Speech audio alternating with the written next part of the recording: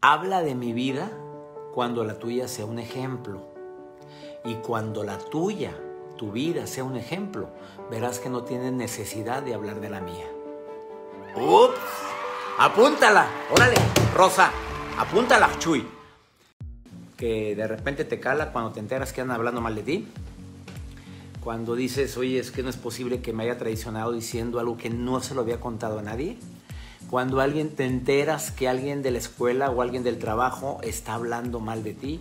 O peor, tu hermana, tu hermano, tu cuñada, la esposa de tu hermano o tu cuñado, tu concuño está comiéndote viva, así destrozándote la hija de la rechingada, así tú, y te cala en el alma, cuando, ¿qué, ¿qué? Si la canija vino a tragar a mi casa, entró a tragar aquí, aquí comió, yo le he recibido, es más, le ayudé, cuando nació su bebé yo fui, fui, le llevé y le atendí, le, claro, no, si nadie tiene el corazón que tienes tú, pero hay gente que no tiene miramientos para hablar mal de la gente, si supieras a dónde voy a ir mañana, tempranito como a las 10 de la mañana, te sorprenderías.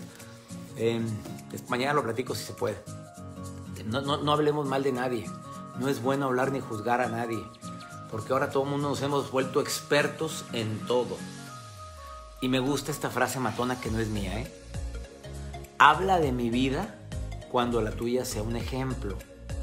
Y cuando la tuya, tu vida sea un ejemplo, verás que no tienes necesidad de hablar de la mía. ¡Ups! Apúntala. Órale, Rosa. Apúntala, Chuy. Fíjate, la voy a repetir. Habla de mi vida cuando la tuya sea un ejemplo.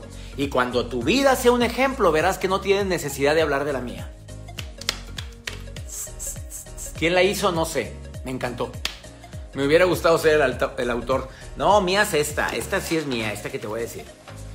Duele encontrar motivos para ya no amarte. Pero duele más no recordar los motivos que me hicieron un día amarte. Ando inspirado hoy. Y eso que vengo madreado del gimnasio. A ver, duele encontrar motivos para ya no amarte, pero duele más no recordar qué fue lo que me hizo, lo que me hizo amarte. Ya cuando, ya cuando olvidé por qué estoy contigo, ya cuando se me olvidan todo lo que nos unió, ya cuando esa persona empieza a olvidar todo lo que nos une, ya te cargó el payaso, Marta. ¿Oíste, Armando?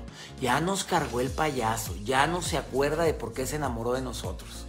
Sea, son tantas las ofensas, es tanto el dolor, es tanto el resentimiento, que ya no me acuerdo ni por qué chingados me enamoré de ti.